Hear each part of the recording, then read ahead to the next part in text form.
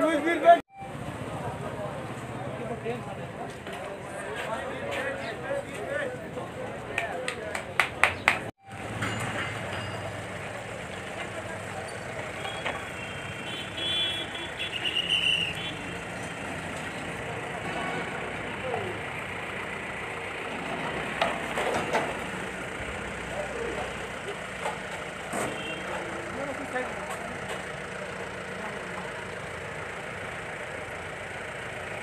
ਦੀ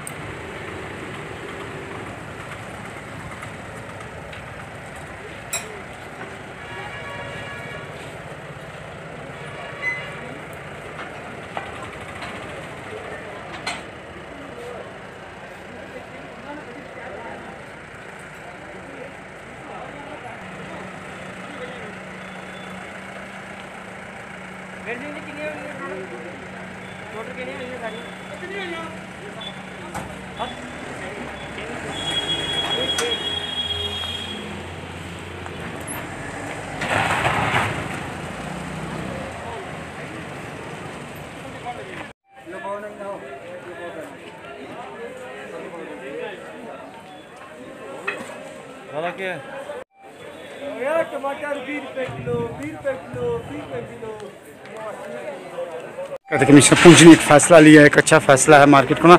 लेकिन लोगों से आप क्या कहें?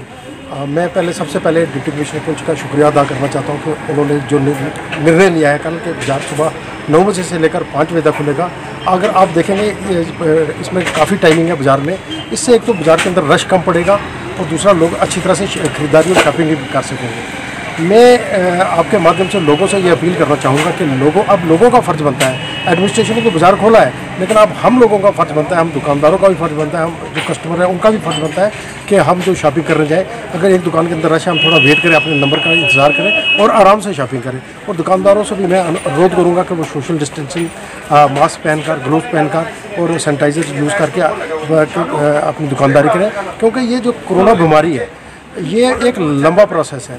अभी इसमें इसमें कहीं भी कभी, कहीं भी और कहीं भी आ सकती है। इससे बचना है, इससे बचने का ये एक ही तरीका है जो हमारे प्रधानमंत्री जी ने कहा दो गज की दूरी वो सबसे है ज़रूरी। इसलिए मैं आपके माध्यम सभी से रिक्वेस्ट करूँगा कि सभी इसका पालन करें जो एडमिनिस्ट्रेशन गाइडलाइन देती है। अगर एडमिनिस्ट्रेशन कोई थोड़ी बहुत ही सख्ती भी करती है, दुकानें बंद कराती है, दुकानें खोलती है तो वो हमारी भलाई के लिए, इस समय जो कुछ हो रहा है इस बीमारी से बचने के लिए हम, हमारे लिए है। मैं इसके बाद अपने एसएसपी पुंछ का भी शुक्रिया अदा करता हूँ। जिस लॉकडाउन के अंदर जिस तरह से पुलिस ने एक बहुत बढ़िया काम किया है लॉकडाउन को पालन कराने के लिए। लेकिन कुछ जगह सख्ती भी हो जाती है, कुछ जगह नरमी भी हो जाती है, लेकिन फिर भी एक बहुत अच्छा काम किया। है सभी जो लोग हैं, इन्होंने मिलकर काम किया। लेकिन मैं एक चीज़ का और आपसे अनुरोध करूँगा कि पिछले दिनों यहाँ पर हमारे दो डेथ्स हुई हैं। जो शराब के अडिक्ट लोग थे, वो भी मर गए बेचारे शराब ना मिलने गए इसलिए मैं कहूँगा कि अगर बाकी जगह दुकानें खुली हैं यहाँ सोशल डिस्टेंसिंग को मेंटेन करके यहाँ भी खुलनी चाहिए, ताकि कुछ लोग अडिक्ट होते हैं। वैसे तो शराब पीना एक बुरी बात है, लेकिन जो पीते हैं जो एडिक्ट होते हैं उनके लिए भी खुलनी चाहिए। फिर मैं एडमिनिस्ट्रेशन का शुक्रिया अदा करता हूँ कि उन्होंने एक अच्छा कदम लिया है और हम लोगों को इस कदम को पालन करना चाहिए ताकि यहाँ सोशल डिस्टेंसिंग मेंटेन रह सके। शुक्रिया।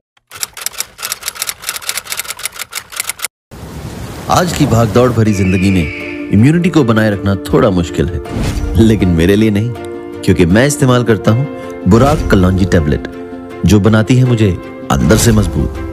सौ फ़ीसद खालिश कलौजी से तैयार। एक आयुर्वेदिक शाहकार। बुराक कलौजी टेबलेट। हर मर्ज की ये दवा जिसमें है शिफा। आज ही खरीदिए।